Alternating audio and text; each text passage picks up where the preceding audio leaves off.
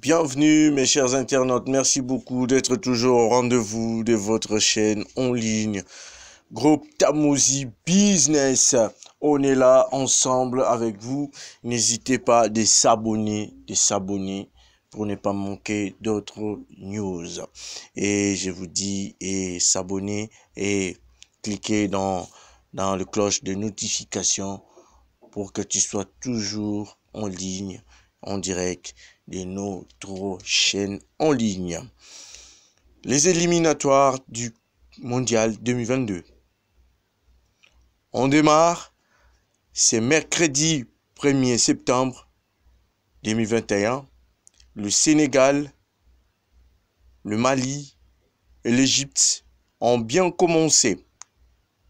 Le Gabon a pour sa part été surpris en Libye. La première rencontre de la première journée s'est soldée par un score nul sans, sans Combia, la République démocratique du Congo s'est soldée à un but partout. Et République centrafricaine n'a pas pu gagner le Cap Vert. Au stade de la réunification, un but score final. La Guinée-Bissau et la Guinée-Conakry se sont séparés dos à dos.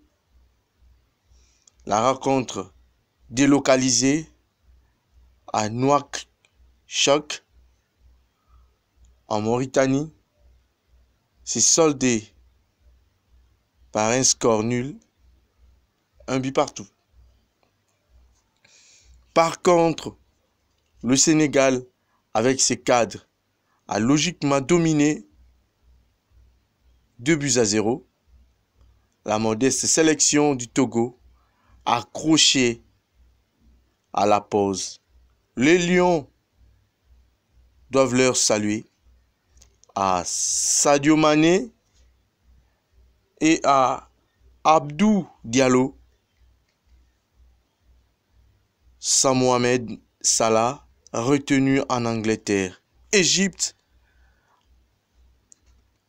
a souffert face à Angola.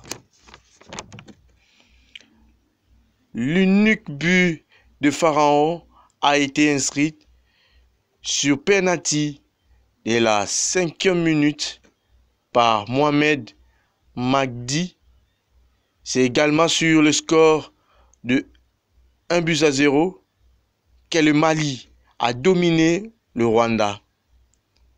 Aubert le Gabon rentrant à Libreville avec une résultat négative, les Panthers ont été dominés par la Libye Début 1.